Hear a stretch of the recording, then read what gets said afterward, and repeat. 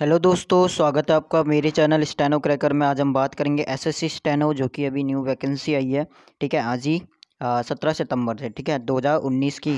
क्या इसका पैटर्न रहेगा क्या सिलेबस रहेगा कब लास्ट डेट होगी और क्या क्या इसमें आ, कितनी इसमें एज है? इन सब के बारे में डिस्कस करेंगे तो वीडियो को लास्ट तक देखिएगा।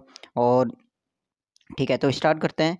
फ़र्स्ट यहाँ पे वैकेंसी आपकी है ये एसएससी स्टैंडो 2019 ऑनलाइन हो जाएगा और इसका जो नोटिफिकेशन आ गया था टू ट्वेंटी एट यानी रात को ही आ गया था तो स्टाफ सिलेक्शन कमीशन का ये है और सेंट्रल लेवल की जॉब है तो अप्लाई ऑनलाइन यहाँ पे आज से स्टार्ट हो जाएगा।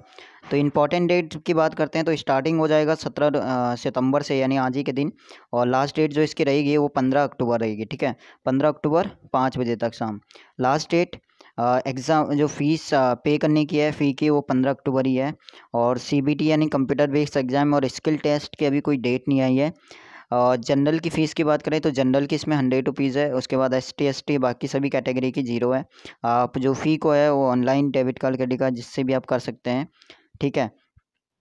अगर हम इसकी एलिजिबिलिटी की बात करें तो इसमें टेन प्लस टू माँगता है और इसमें स्टेनोग्राफर डी और सी दो पोस्ट होती है। डी के लिए इसमें जो स्किल टेक्स्ट में सिक्सटी फाइव मिनट्स हिंदी के लिए और फिफ्टी मिनट्स इंग्लिश के लिए। और सी के लिए फिफ्टी फाइव मिनट्स हिंदी के लिए और फोर्टी मिनट्स इंग्लिश के लिए, ठीक है? मैक्सिमम भी मिनिमम एटीन ईयर्स और मैक्सिमम होती है ट्वेंटी से, ट्वेंटी सेवन ईयर्स ठीक है? ट्वेंटी सेवन ईयर्स इसमें मैक्सिमम रहती है।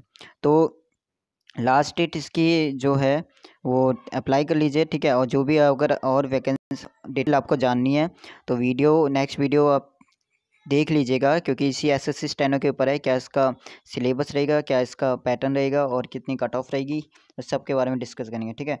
तो वीडियो जानने, ठीक है तो अच्छी लगी तो सब्सक्राइब कर देना, अगर आप एस एस स्टेनो की तैयारी करें स्पेशली तो ठीक है? तो वीडियो देखने के लिए धन्यवाद।